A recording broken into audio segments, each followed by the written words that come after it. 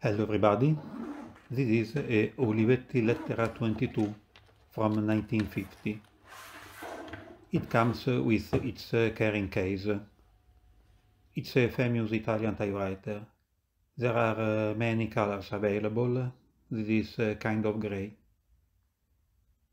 Lettera in Italian language means letter, and the 22 probably derive from the fact that the Italian alphabet has 21 letters, and this symbolizes that the machine is such a new concept that it can be considered as a new letter of the alphabet, indispensable for uh, composing sentences.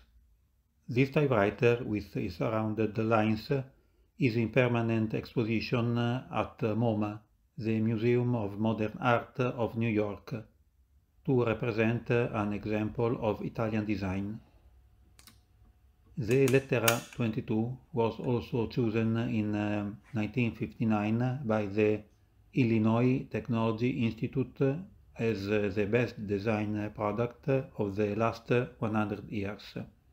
It was produced by Olivetti from 1950 to 1963 with little variations and this typewriter was used by many famous Italian writers and journalists, Pier Paolo Pasolini, Indro Montanelli, Enzo Biagi, and uh, Gunther William Grass, Nobel Prize for uh, Literacy in uh, 1999. The Lettera 22 was advertised with stylish posters and some sentences which accentuates some connotations of the machine. The posters are signed by great masters of advertising graphics, Nizzoli, Pintori, Savignac, and intellectuals and writers such as Franco Fortini and Giovanni Giudici collaborate in uh, drafting the text. Some sentences in the advertisings are quite poetical. Light as a symbol, complete as a sentence. Lettera 22 a typewriter to write in your homes. Other sentences from Lettera 22 advertising were Its place is in daily life, in the family and on the road. Necessary for the professions, it is for the student, for the lady and for the merchant. As universal as the telephone, the radio, the clock. Words are made with vowels and consonants. Roots are made with words, letters and uh, thought with thought. Letters are written with Lettera 22, a kind of poetry. It's very light, you can easily take it with you in train, bus, plane, at school. The Lettera 22 is designed to be a portable and uh, it's uh, very little, but it's not a toy, it's quite heavy, 3.7 kilo that is to guarantee robustness and quality. And it has a good touch considering it's portable. A carrying case with a handle facilitates the transport. The Lettera 22 is the successor of the Olivetti MP1. Also MP1 was an Olivetti typewriter built from 1932 to 1950. The design is conceived to have no protruding parts. You see the carriage is incorporated in the body of the typewriter. When not in use, the interline lever is folded in the roller. This version has black round buttons, later version have square grey buttons. In the keyboard there are the accented letters for the Italian language the backspace, shift for uh, majuscules and uh, minuscules. To save space in the keyboard is missing the 1 and the 0. You can use the L and O instead.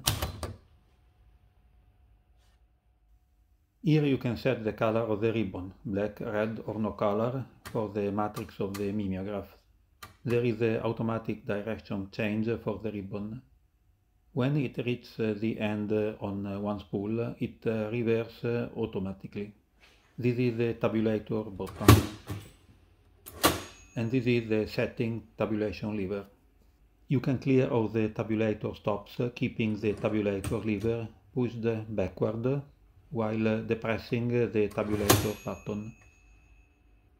Now all the tabulator stops are cleared. To set the tabulator stop, you place the carriage at the point you want to type. Then you pull the tabulator settings lever forward. Now, when you press the red tabulator button, the carriage stops at the place where the tabulation has been set. These sliders are the margins.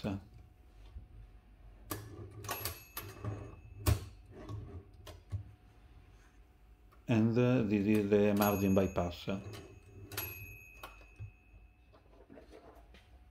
To insert the paper, you lift the paper supports. You lift the bail rod. There is a spring to push it back. Insert the paper, shift and turn the roller.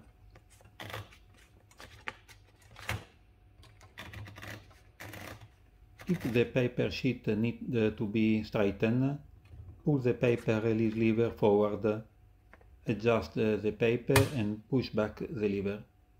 If you want to move the roller independently of the ratchet wheel notches, you have to press this button on the knob to make correction, center the letter on a line, etc.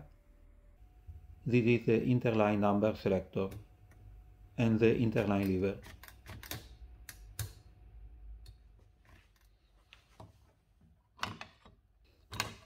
Here there is a carriage locking lever mechanism. Eh?